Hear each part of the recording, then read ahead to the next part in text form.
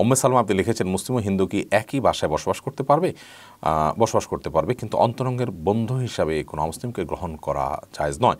এবং একসাথে থাকার কারণে যদি তার মাধ্যমে আপনি প্রভাবিত হতে বা হতে পারেন আশঙ্কা থাকে, শীতটা আপনার কাছে স্বাভাবিক হয়ে যাবে, সেরকম আশঙ্কা থাকে, আপনার ইমান যদি দুর্বল থাকে, তাহলে সেটা আপনার জন্য জায়জ নয়। যদি আপনি তাকে, আপনার ইসলামের সৌন্দর্য তাকে অবলোকন করাবেন, আপনার আচরণের মাধ্যমে, আখলাকের মাধ্যমে আপনি তাকে দাওয়াত দিতে পারেন, এরকম সুযোগ থাকে, তাহলে সেটি জায়জ হতে পারে।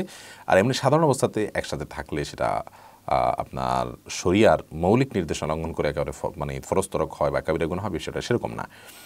যদি প্রয়োজন হয় একসাথে থাকার কোনো বিশেষ কারণে আপনার কোথাও থাকলেন কোনো হোস্টেলে ইত্যাদিতে, এটা জায়জ আছে।